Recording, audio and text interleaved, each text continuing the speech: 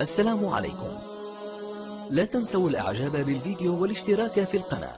تشجيعا لنا لنستمر بنشر المزيد إن شاء الله. إن أعجبك الفيديو لا تنسى الإعجاب والاشتراك في القناة.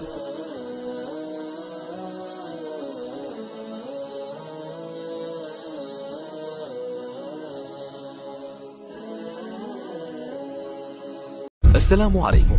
لا تنسوا الإعجاب بالفيديو والاشتراك في القناة. تشجيعا لنا لنستمر بنشر المزيد إن شاء الله. ألو السلام عليكم. ديال أستاذ بخير. حياك الله سي محجوب. صحة لاباس ولله الحمد. أو خويا أستاذ أنا عندي عيان شي شوية وراس ديالي ما تيجينيش النعاس ما شاء الله. آه والراس ديالي ديما العافيه شاعله فيه الله الله الله. هيا ويا الحاج الله يرحم لك الوالدين والسي محجوب هاد الحالة شحال وأنت كتعاني منها؟ خويا تقريبا شي فوق ست سنين ولا سبع سنين. ولا الله عرف عمري دابا ولا عمري تقريبا نقول السبعينات الله الله الله. آه. والسي محجوب زرتي الطبيب؟ زرت أخويا شحال من طبيب وأنا ما قدرتش نشرب الدواء دابا والو. درتي الشبكة ديال الراس درتي شي درت كاع سكالير والمخايف ما درت. واش قال لك الطبيب واش عندك شي مشكل في الراس ولا ما عندك شيء وقال لي ما عندك حتى شي حاجة. إيه. وملي دوزت عند واحد في الدوق في قنيطره قال لي شقيقة. نعم. ويا شقيقة خويا داوي تعيط بالقرعه درت تعيط والو. كت- كتجي وكتمشي لفترة قصيرة ما كتبقاش دائما ملازمة لصاحبها. لا ديما خويا الراس عندي العافية شاعله فيه. الله الله والنعاس والنعاس قليل الليل كله وأنا فايق لا نغمض نغمض ديك الساعة ولا ما نغمضهاش كاع ما شاء الله ما شاء الله. سي محجوب الله يشافيك الله. يشافيك. الله يشافيك آمين. محجوب. وسي آمين. محجوب حسب معلوماتي البسيطة. آه آه. ما كاينش حقيقة مرض ديال الدماغ. الدماغ هو مرتبط بالنفس. إلا كانت النفس مريضة كيمرض معها الدماغ. وعني الناس مرض مرض عليا غير المخزن كيفاش أخويا مرض لك المخزن؟ اش وقع لك؟ المخ- المخزن واحد الحانوت عندنا واحد الدكان هذه تقريبا 30 سنة ولا 40 سنة وأنا في الدعاوي وباقي ما بغاوش كاع يديروا ما حتى شي حل.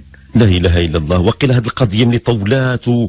وكتمشيو للمحكمة وسيروا وما- آه. أثرت فيك بزاف في نفسيتك وكتخمم فيها بزاف وبعض. السلوكة ديال الدماغ اللي كنتي كتفكر بهم بزاف ربما كي... كيعياو كيتعبوا.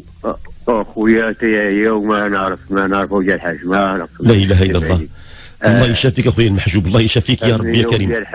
أمين الله يرحم لك الله يشافيك ويحفظك. كنبغي نقول سي المحجوب في هذه الحالة ديال المرضية ال- الأمراض ديال الدماغ عموما آه، هذا اختصاص طبي أهل الاختصاص. ولست طبيبا ولكن حسب المعلومات المتوفرة عليها بأن حقيقة ما في مرض ديال الدماغ.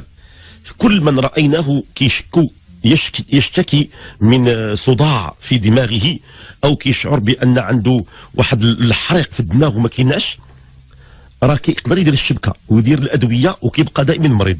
القضية مرتبطة بالنفس ومنطق التفكير. إلا قدرنا هذا الإنسان اللي هو مريض نعدلوا ليه منطق التفكير ديالو ونطمئوا ليه النفس ديالو غادي يرتاح. غادي يرتاح بكل تلقائية. هذه الحالة كتجي خصوصا الشباب والشابات في مقتبل العمر ملي كيكون عندهم طموحات كبيرة ولكن كيلقاو عقبات في الطريق كيتصابوا بنوع من الصداع الاصطدام النفسي وكينعكس على الدماغ وكيلقى ديما كيشكي بالدماغ.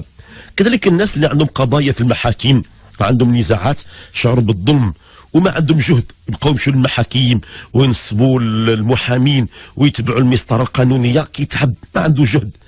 هاد التخمام بالليل وبالنهار كيخلي ال- الصفائح ديال الدماغ كتحتك وكتألم ومن تما كيعود الإنسان مريض.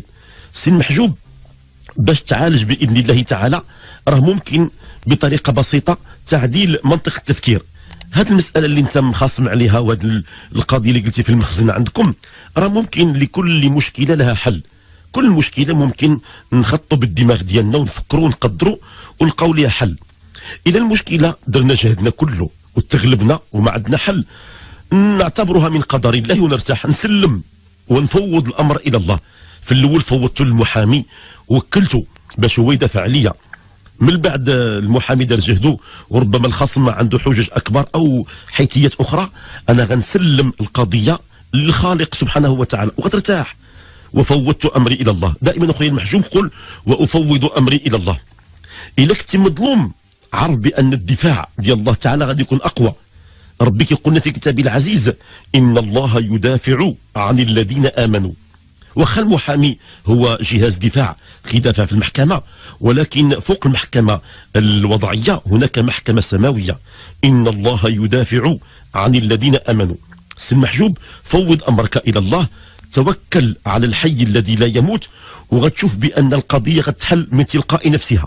ربي غادي يهيئ لها الأسباب وغادي يصوب لها المداخل والمخارج وغتلقاها بوحدها جاية مصوبة ومقدته عندك بإذن الله. غير منطق التفكير.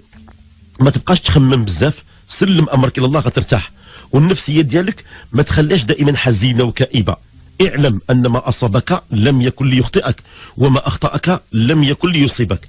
هذاك الأمر إذا كان من حقك غتاخذه بإذن الله. إذا كان من حقك وضعتي فيه ربي غادي يعوضك. ديما عندنا قانون التعويض الإلهي. أنا عمرني ما نخاف من الرزق. عمرني ما نخاف من شي حاجة غتضيع ليا واخا تضيع ربي غادي يعوضني. حتى هو سبحانه قال لنا بان عنده قانون التعويض الإلهي صندوق مليء خزائنه لا تنفد. وربي غادي يعطيك وغادي يفرحك. الله يشافيك السي المحجوب. والله يعافيك. والله يمتعك بالصحة والعافية. والله ينصفك في القريب العاجل. والله يجيبك أنت والخصم ديالك في الصواب. وهو على جمعهم إذا يشاء قدير. آمين يا رب يا كريم. السلام عليكم. لا تنسوا الإعجاب بالفيديو والاشتراك في القناة. تشجيعا لنا لنستمر بنشر المزيد إن شاء الله.